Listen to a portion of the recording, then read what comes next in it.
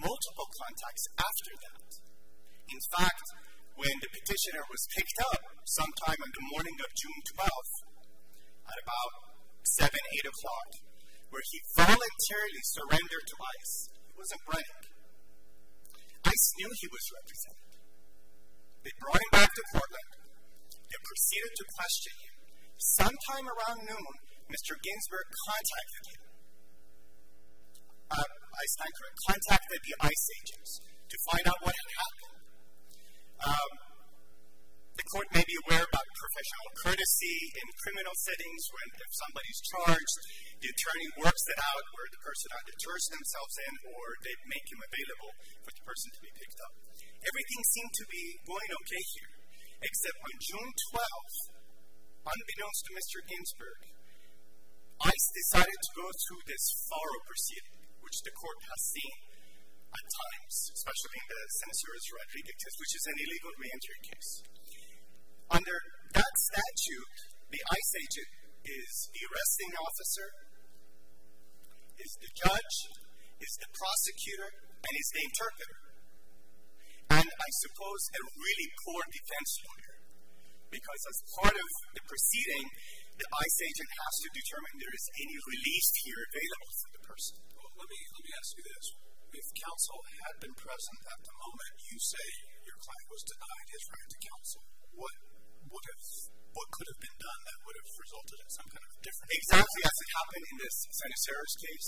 He had a pending U visa. He would have argued that because of the pending U visa, that this should halt proceedings. Now, how do you do that? I know that the dissenting opinion in uh, the Rodriguez case, um, and of course the government is arguing that there should have been a stay. A stay should have been filed. Were you honest? That was done. In fact, the dissenting judge would be happy to hear that in our case that had happened. I guess me be more precise in my question. Sure. As I understand it, you're complaining about the unavailability of counsel at a particular moment in time, namely on June 12th within hours X to Y, right? Correct. So the requesting of the stay, that is something that the lawyer could have done the next day, the next week, the next month, right? It's not like the opportunity to ask for that stay was lost on June 12th during hour X, between hours X and Y when counsel wasn't available, right? So I don't see how that could be the, if that's what you're hanging your hat on in terms of the harm that was done to your client, I don't see the harm. No, Your Honor, I'm just saying that that was done. The reason I have raised that with the court, the reason we have filed the denials of the stay, so the court has a better picture. Unfortunately, in FAR proceedings, nothing is recorded. It's very limited. We have to take the word of the ICE officers for fairness. What is important is the petitioner here specifically said, I'd rather not answer any questions until my lawyer's is here. So if he didn't, he didn't, he didn't give a uh, formal statement, right? Well, what's indicated in in the notice um, of intent to remove is that he admitted the charges.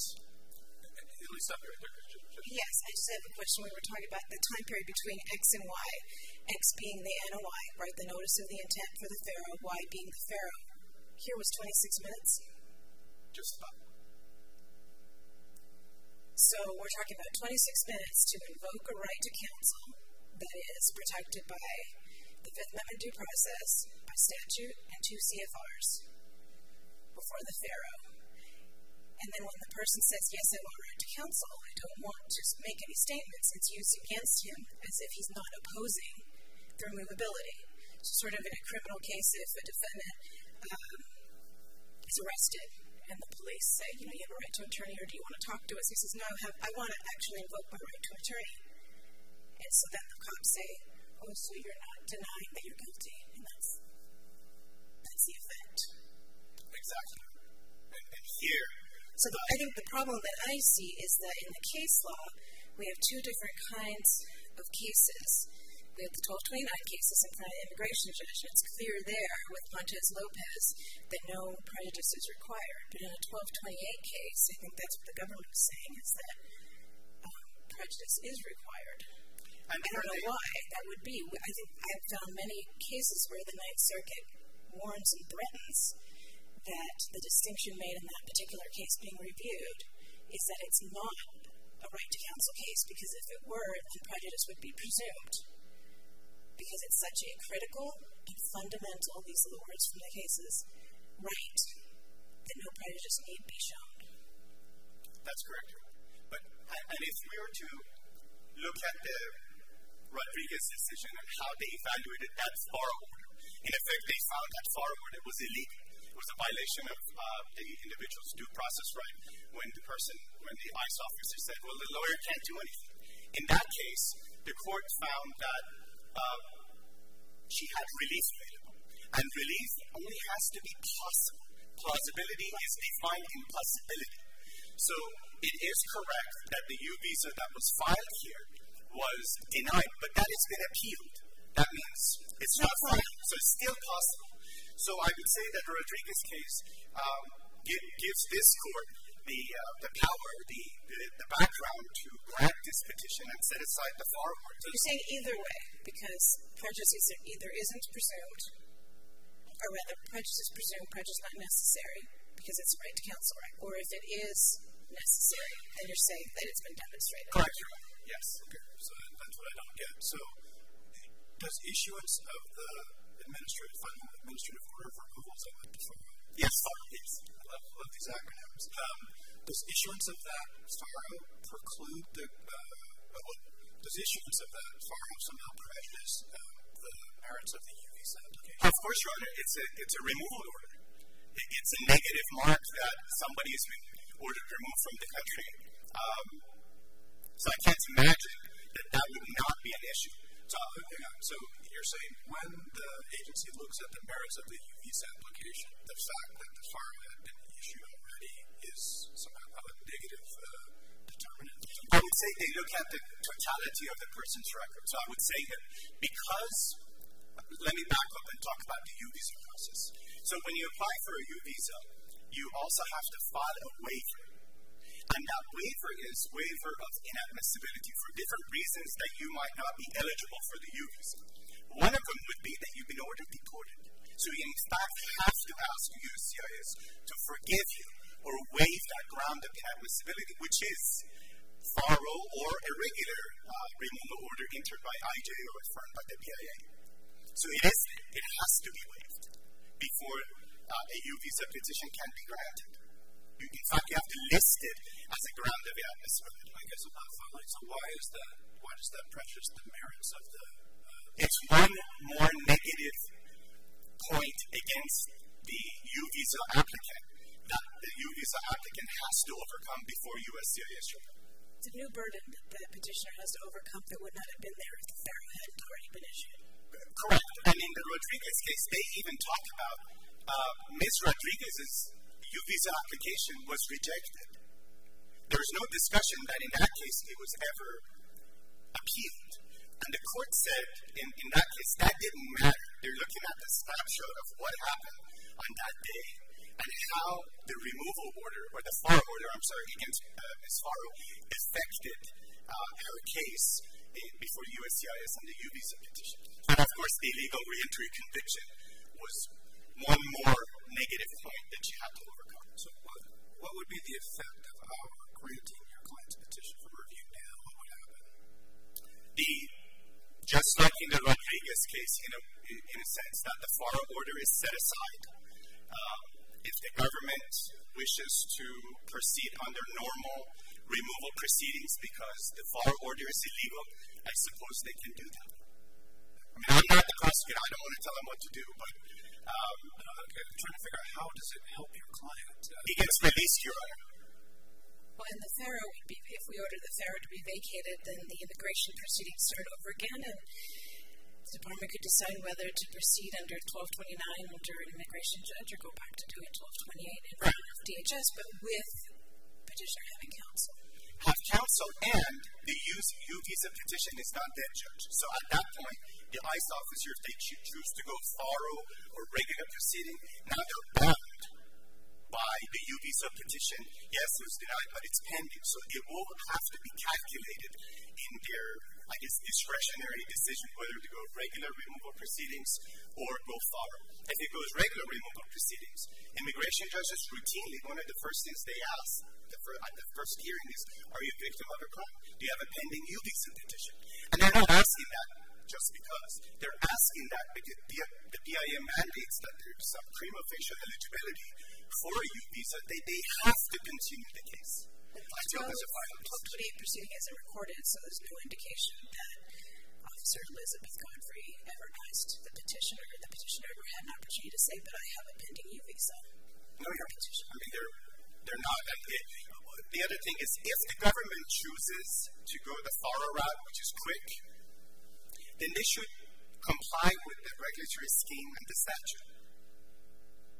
And they didn't. You're over your time. We'll give you a couple minutes for rebuttal. Thank you, Your Honor. From the government.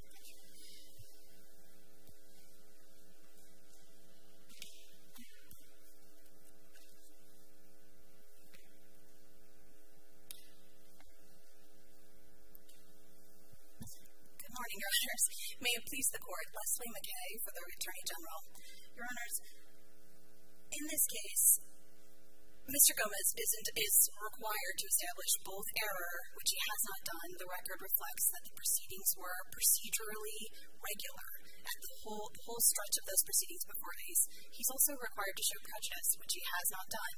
At the end of the day, he is an admitted aggravated felon, and he is continuing to pursue the only form of relief for which he remains eligible, and the only form of relief he's told the Court he really wants.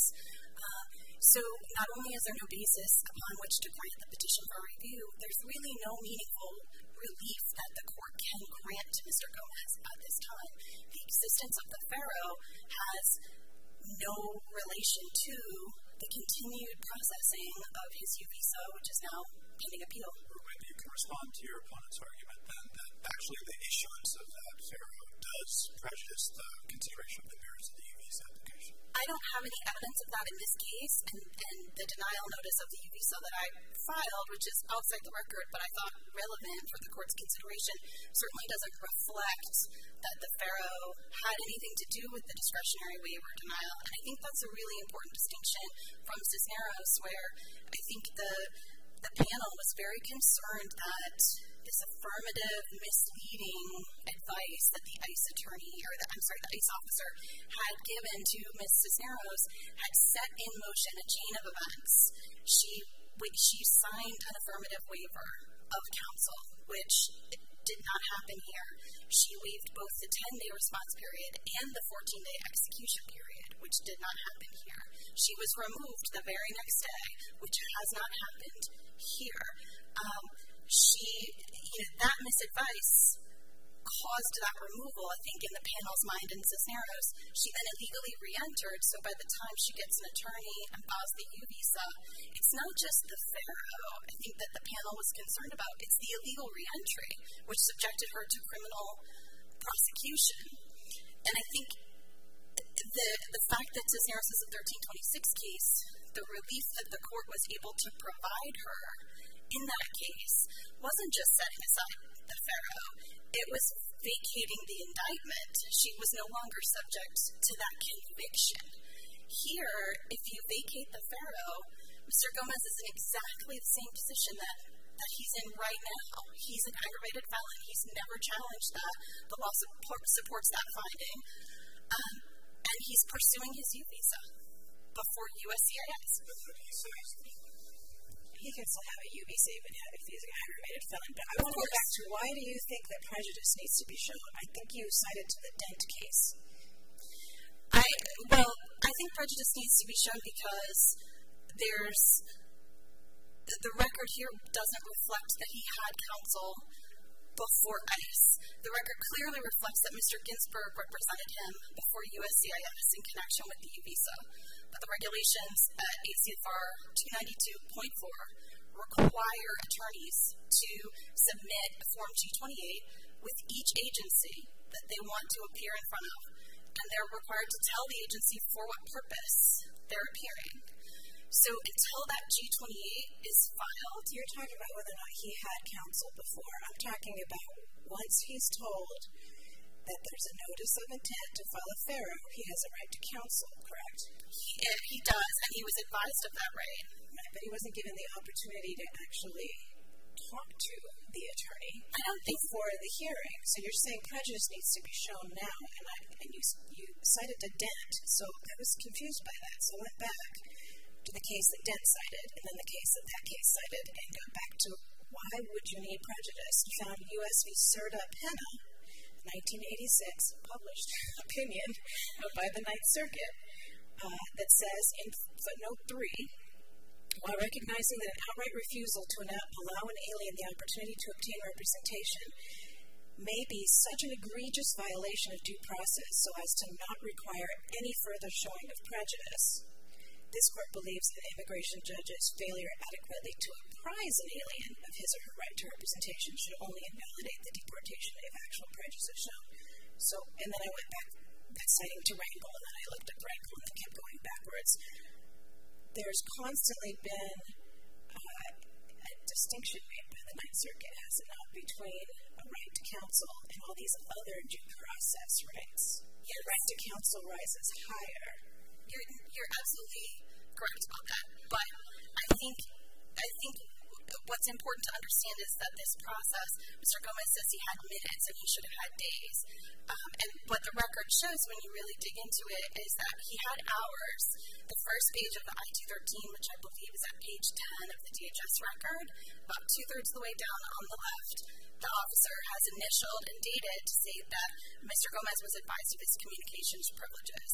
That includes his right to make a phone call, his consular notification form, which which encompasses both his right to contact the Mexican consulate and his opportunity to ask DHS to contact the consulate on his behalf. Um, he was provided with a list of free legal service providers. Um, he was provided with a list of, or a warning about representation by a notario. So all of that would have come in those hours in advance of this 26 minute or 30 minute period that we're talking about, the actual, that very limited period of the administrative removal proceedings.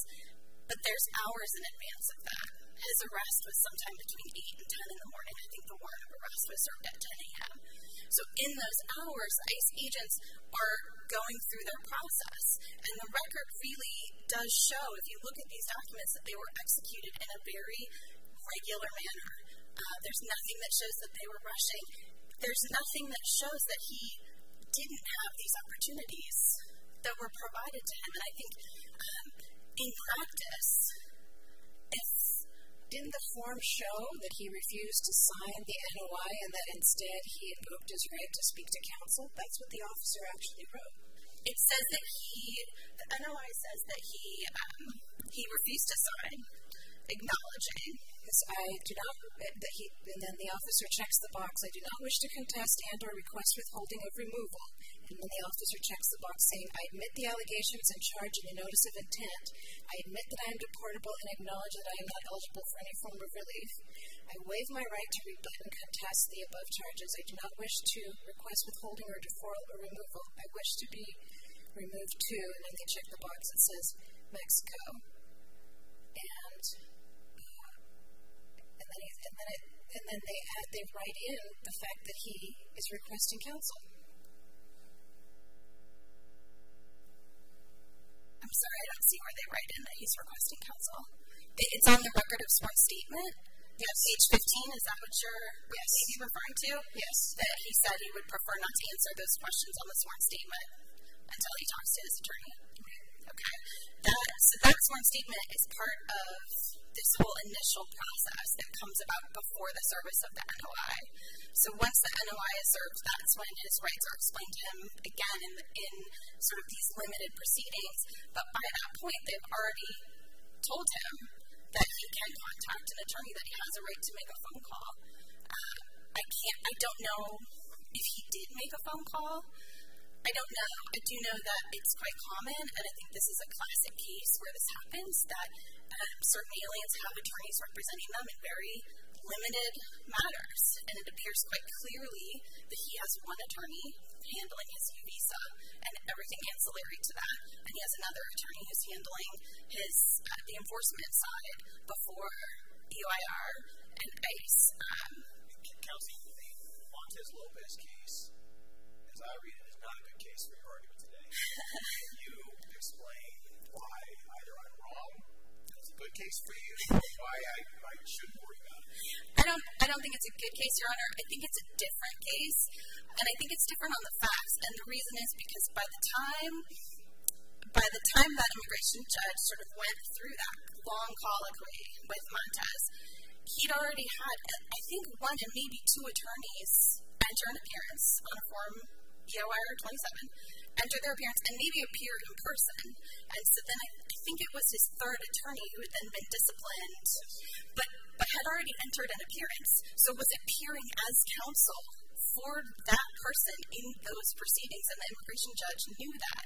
Here, what the ICE agents knew at the time of the FARO was that this person, Mr. Gomez, had an attorney representing him before an entirely different agency within DHS. There's no G-28. They did not know, and he did not have an attorney representing him before ICE.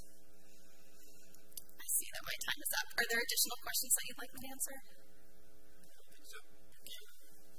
Thank you so much. Let's give uh, counsel for the petitioner a minute.